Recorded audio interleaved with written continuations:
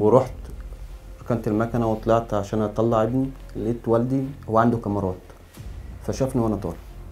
فأنا طالع طبعا هو قاعد في الدور التاني وأنا في التالت. فأنا طالع على السلم لقيته طالع من باب الشقة.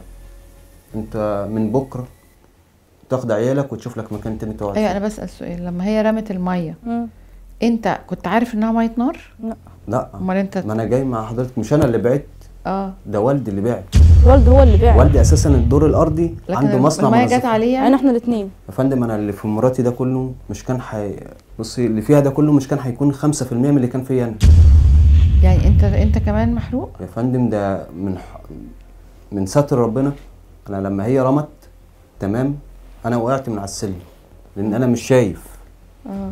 تمام؟ فالجيران كله كله جه دي عمالة تصوت. كلهم منزلين عليا أنا يحموني بالمية.